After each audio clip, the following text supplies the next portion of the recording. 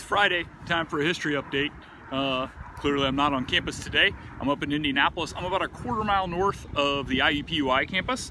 Uh, and as you can see by the sign behind me, it says I am at Ensign Graham Edward Martin Park. And I'll talk about who he was and, and my problem with that sign uh, here in just a second. Uh, but I want to jump ahead, uh, I want to do this in chronological order, and he's actually going to be the third person that I get to.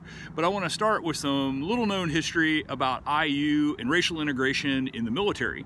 Uh, so the first African American in the U.S. Army uh, were selected in World War One, and they went to uh, uh, Camp Des Moines in Iowa. They had about 600 folks that were selected for the first camp, and they had several more officer camps after that. And one of the folks that was in that very first camp that we had was this guy, Elder Watson Diggs. Now, if you're familiar with Kappa Alpha Psi history, you probably know who Elder Watson Diggs is already, uh, but he was an IU student uh, who had helped found that organization. He went and served in the Army uh, during World War I, then later came back and got his degree from IU, uh, and then went on to be a teacher in Indianapolis, uh, as well as a number of other things uh, over the years. So the very first class of commissioned black officers in the Army, we had an IU alum in that. So now flash forward to World War II and the time comes for the Army Air Corps to start allowing African Americans to be officers. Uh, this program that started at Tuskegee, you probably know it as the Tuskegee Airmen. The very first class of officers that were commissioned out of the Tuskegee Airmen, the number two person in the class who would later go on to be the commander of a uh, fighter squadron throughout World War II was Charles DeBow and Charles DeBow uh, was a IU uh, student who left to, uh, to go to flight school and learn how to fly and then later uh, wound up in the Army Air Corps during the war. And so there were only five officers in that class, and he was one of them.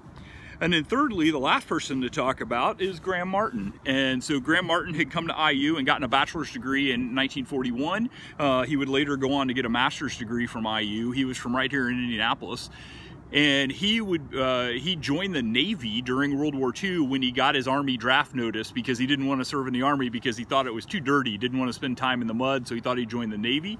They selected him for an officer training program, and they chose and 13 officers commissioned out of that program. They're known as the Golden 13. 12 of them were commissioned officers, uh, including Martin, and one was a, a warrant officer. Uh, and so here's a picture of Graham Martin uh, when he commissioned.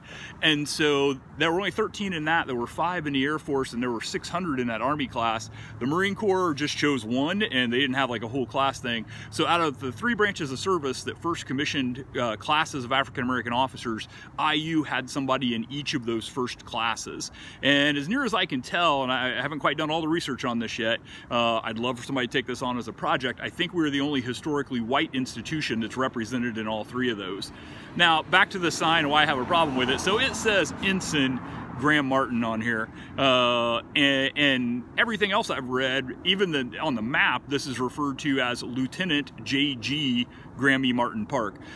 So a lot of people confuse Navy ranks. An ensign, that's an O1, that's the, the gold bar. And a lieutenant JG is a uh, the equivalent of a first lieutenant uh, in the other branches of service. And that is the silver bar right below full lieutenant, which is a captain in most the, in the other branches of service.